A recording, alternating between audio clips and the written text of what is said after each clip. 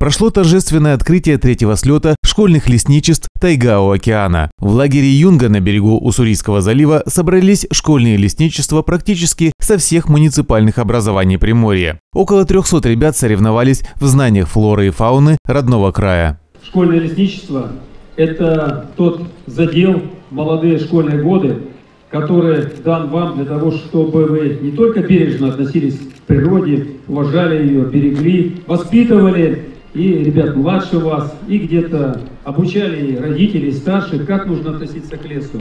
Но, возможно, для многих это будет выбором и вашей будущей профессии.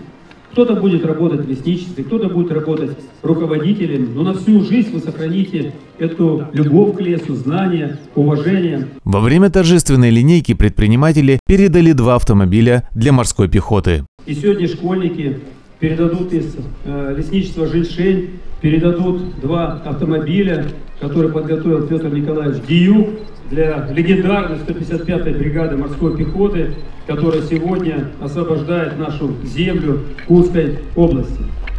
Я думаю, что вот этот прекрасный лагерь Юнга, а, погода, которая сегодня, а, скажем, балует нас а, такой хорошей температурой, ярким солнцем, даст возможность запомнить это вам до следующего слета уехать отсюда, напитавшись новыми знаниями, новыми знакомствами, каким-либо новым опытом, который вам передадут ваши старшие товарищи, с тем, чтобы в течение года продолжать эту важную и нужную работу заботы о лесе. Третий слет школьных лесничеств прошел на территории лагеря Юнга 28 и 29 сентября. Для ребят была организована выставка военной техники и полевая кухня. Артем Белов, Диана Иванова. Новости на восьмом.